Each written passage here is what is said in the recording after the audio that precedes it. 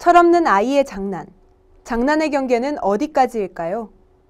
28일 노인시설에 봉사활동을 간 고교생들의 돈 없는 장난 영상에 전 국민이 분노하는 일이 발생했는데요.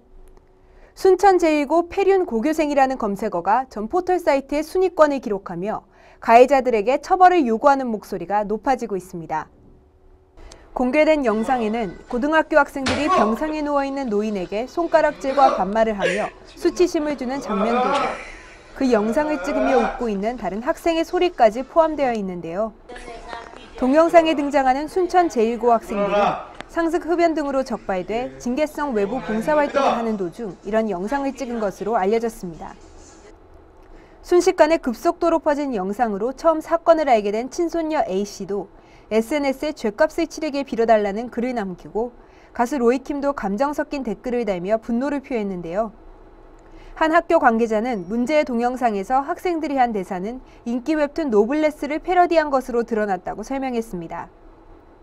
순천 제2고교 홈페이지는 개설 후 총 방문자 27만여 명 중 28일 방문자만 무려 25만 명을 기록하는 등 해당 학생들에 대한 징계 요구로 폭주했습니다. 학교는 페이스북에 해당 학생들을 중징계 처리하겠다는 약속과 함께 사과문을 올리고 오늘 해당 학생들에게 3일 등교 정지 후 전학 공고를 결정했다고 알려졌는데요. 3일 안에 전학을 하지 않을 시에는 퇴학 조치시킬 계획이라고 전했습니다. 해당 경찰서인 순천경찰서도 영상 관련 글을 홈페이지에 게재하며 사실관계 확인 후 형사처벌 여부 등을 포함해 법과 원칙에 따라 철저히 조치하겠다고 약속했습니다.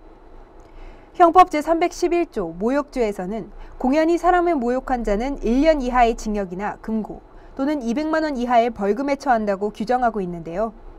하지만 경찰 관계자는 관련자들이 학생 신분이기 때문에 엄정하면서도 신중한 조사를 할 필요성이 크다고 이야기한 것으로 알려져 있습니다. 어리다고 모든 행동이 용서받을 수는 없죠. 영상 끝에 아이들이 웃으며 죄송합니다 하는 소리도 들을 수 있는데요. 사과를 할 정도면 잘못했다는 것을 아는 것 같습니다. 잘못을 알면서도 그런 영상을 찍고 그리고 SNS에 게재하고 그 후 연이어 한 거짓말까지 장난으로 시작되었지만 법과 윤리에 모두 어긋나는 이런 행동엔 엄정한 법적 처벌이 있어야 한다는 목소리가 높습니다.